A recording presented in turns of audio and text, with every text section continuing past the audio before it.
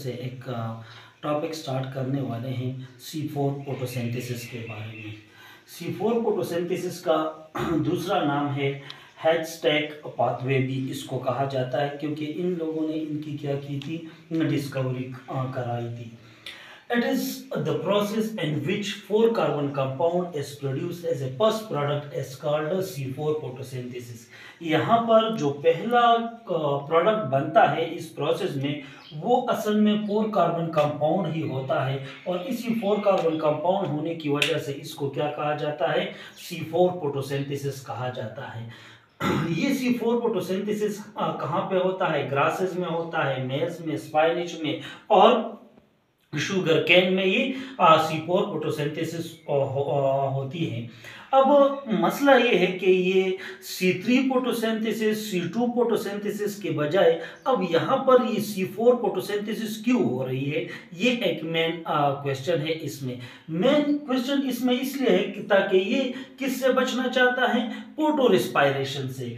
Adaptation in C4 photo C4 plant for the avoiding from the photorespiration photorespiration से बचने के लिए ये क्या कर लेता है? C4 फोटोसिंथेसिस कर लेता है। है, क्योंकि सीपोर पोटो रिस्पायरेशन जो है, वो तीन ऑर्गेनाइज में होता है, वो टाइम इन कंज्यूमिंग है। उसमें तीन ऑर्गेनेलिज की इन्वॉल्वमेंट जो है, वो शामिल है। तो इस फ़ोटो रेस्पायरेशन से बचने के लिए क्या है? सीपोर फोटोसिंथेसिस होती है। अब ये सीफोर फोटोसिंथेसिस जब होगी ना तो उसके लिए भी कुछ एडाप्टेशन कुछ चीज़ें जो है, वो चाहिए। पहला चीज़ जो है, वो डायमार्पिक क्लोरोप्लास्ट है।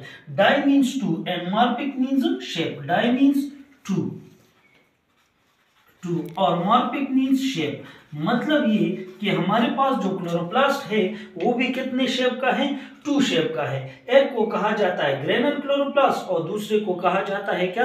ए ग्रेनल क्लोरोप्लास्ट ग्रेनल क्लोरोप्लास्ट हम इसको कहते हैं। हमने इस तरह से पढ़ा है कि ये क्या है? ये हमारे पास डबल मेम्ब्रेन बाउंडेड क्लोरोप्लास्ट है और इसमें इस तरह से क्या है? ग्रेनम मौजूद है। जब ग्रेनम मौजूद होगा तो ऐसे क्लोरोप्लास्ट को क्या कहा जाता है? ग्रेनल क्लोरोप्लास्ट लेकिन दूसरा क्लोरोप्लास्ट ये है हमारे पास, लेकिन इसमें ग्रेनम मौजूद नहीं है, सिर्फ़ और सिर्फ़ स्ट्रोमा है तो इसको क्या कहा जाता है? ए ग्रेनल क्लोरोप्लास्ट अब ये फोर फोटोसिंथ थ्री फोटोसिंथेसिस किसमें होगी? ग्रेनल क्लोरोप्लास्ट में और सी फोर फोटोसिंथेसिस होगी किसमें? ए ग्रेनल क्लोरोप्लास्ट में। एक तो हमें ये वाली क्लोरोप्लास्ट चाहिए इस सी फोर फोटोसिंथेसिस के लिए। दूसरी चाहिए क्या? क्रेंस एनाटॉमी क्रेंस एक साइंटिस्ट था, उसने ये चीज़ डिस्कवर की थी। अगर यहाँ पर आप लोग देख रहे तो मैंने लीप का इंटरनल स्ट्रक्चर ड्रा किया हुआ है।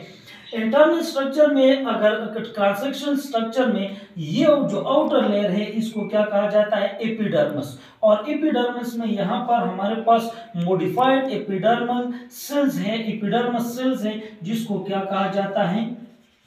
गार्डर सेल्स इसको कहते हैं। और गार्ड सेल जो है, और यहाँ पर एक और मौजूद है, जिसको क्या कहा जाता है? स्टोमा सिंगुलर को स्टोमा और फ्लोरल इसका क्या है? स्टोमेटा है। अब यहाँ पर इसके बाद कौन से सेल्स है? एपिडर्मस सेल्स के नीचे मेजोपेल सेल्स है, और मेजोपेल सेल्स के नीचे क्या है?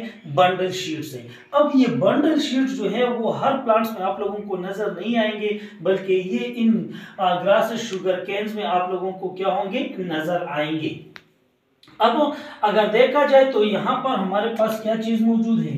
कार्बन डाइऑक्साइड है, वो अंदर की तरफ़ चला जाएगा, फिर गैसेस एक्सचेंज होगी। वो चीज़ें हमने बार बार की हुई है, अब यहाँ पर कर लेते हैं।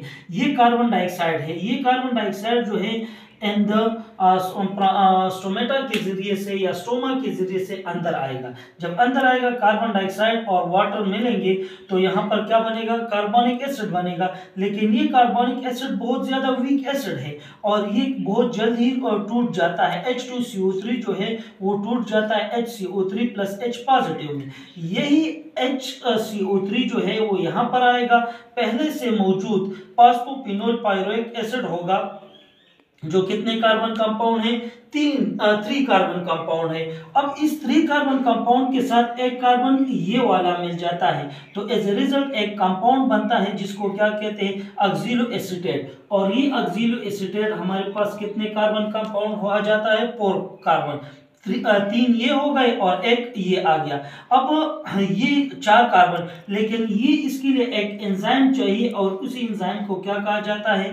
पेप्को कहा जाता है। अब पेप्को एंजाइम होने की वजह से एसिटेट तो बन गया। ये एसिटेट की क्या हो जाएगी? ये कन्वर्ट हो जाएगा किस चीज़ में? मेलिक एसिड में। और मेलिक एसिड भी हमारे पास क्या है? फोर कार्बन कंपाउंड ही है।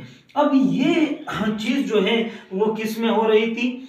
ये हमारे पास हो रही थी मेजोपेल सेल कहाँ पर? मेजोपेल सेल में ये प्रोसेस हो गया। क्योंकि अगर देखा जाए, जैसे ही कार्बन डाइऑक्साइड आ जाता है तो कार्बन डाइऑक्साइड कहाँ पर? पहले इनके सेल मेजोपेल सेल होंगे और फिर इसके बाद क्या आएँगे? बंडल शीट अब यही मेलिक एसिड जो है, वो क्या करेगा? इसी मेजोपेल सेल से कहाँ पर चले जाएँगे? बंडल शीट में. ये कौन से वाले सेल्स हैं? बंडल शीट बंडल शीट में चले जाएँगे। अब ये फोर कार्बन कंपाउंड है। अब ये फोर कार्बन कंपाउंड जो है, ये क्या हो जाएगा? मैंने एसिड ये टूट जाएगा और इससे निकल जाएगा क्या? कार्बन डाइऑक्साइड और एक इससे निकलेगा क्या? पायरोइक पायरोएट या पायरोइक एसिड और ये पायरोइक एसिड हमारे पास क्या है? थ्री कार्बन कंपाउंड है। अब यही कार्बन डाइऑक्साइड जब निकलेगा तो यहाँ पर हमारे पास क्या है? रोबेस्को एंजाइम मौजूद है और रोबेस्को के बारे में हमने ये पढ़ा हुआ है कि जब ऑक्सीजन की अबंडेंस ज़्यादा होगी तो फिर क्या स्टार्ट होगा? पोटो रिस्पायरेशन लेकिन जब ऑक्सीजन की अबंडेंस क्या होगी? कम होगी और कार्बन डाइऑक्साइड की अबंडेंस ज़्यादा होगी तो फिर यहाँ पर एक कंपाउंड बनता है जिसको क्या कहा जाता है? PGAL पास्पोग्लिसरिक एसिड और एज ए रिज़ल्ट यहाँ पर एक साइकिल स्टार्ट हो जाता है, जिसको क्या कहते हैं? कैलवन साइकिल और कैलवन साइकिल में हमारे पास एक ग्लूकोज मॉलिक्यूल जो है, वो बन जाएगा। अब यहाँ पर वो फिर से वो नॉर्मल फोटोसिंथेसिस जो है, वो स्टार्ट हो जाएगी। असल में पोर फोटोसिंथेसिस का काम ये है, क्योंकि यहाँ पर मेलिक एसिड से क्या देना है? कार्बन डाइऑक्साइड देना है किस चीज़ को? बंडल शीट को ताकि ये क्या कर ले? ये कार्बन डाइऑक्साइड देने के बाद यहाँ पर ये कैलवन साइकिल जो है वो जारी रहे और एज ए रिज़ल्ट यहाँ पर क्या बन जाए? ग्लूकोज मालिक्यूल जो है वो बन जाए। अब रह गई बात किस चीज़ की? इस एसिड की बात रह गई ना। तो ये पायरोइक एसिड जो है वो क्या करेगा? यहाँ से दोबारा कहाँ पर आ जाएगा? मेजोपेल सेल से। मतलब ये कि यहाँ से फिर से इन सेल्स में चला जाएगा। जब ये चला जाएगा तो यहाँ पर क्या होगी? एनर्जी होगी। एटीपी जो टू एटीपी जो है वो कन्वर्ट हो जाएगी टू एडीपी में और एज ए रिज़ल्ट यहाँ पर क्या बन जाएगा? पास्पोपिनोल पायरुएट फिर से बन जाएगा और फिर से यही साइकिल जो है वो दोबारा चलता रहेगा। तो आप लोगों ने देख लिया कि यहाँ पर ये कार्बन डाइऑक्साइड जो है वो एक यहाँ और तीन यहाँ। और एज ए रिज़ल्ट हमारे पास क्या बन जाते हैं?